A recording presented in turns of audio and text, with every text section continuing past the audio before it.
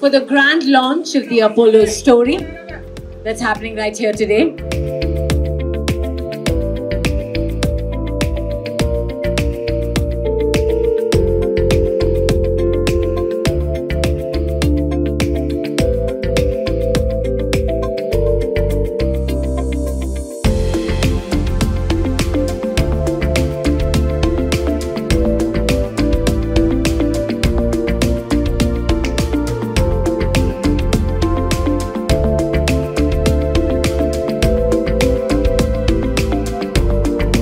Just my grandfather.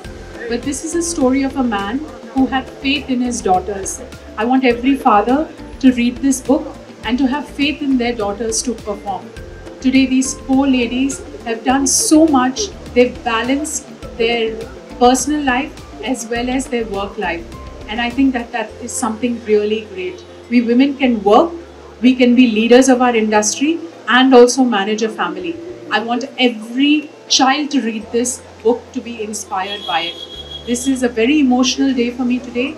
It's about celebrating my grandfather's birthday and also celebrating young girls coming into coming becoming entrepreneurs and leading industries. I think it's a very important day. It's a very important book and a message that's going on.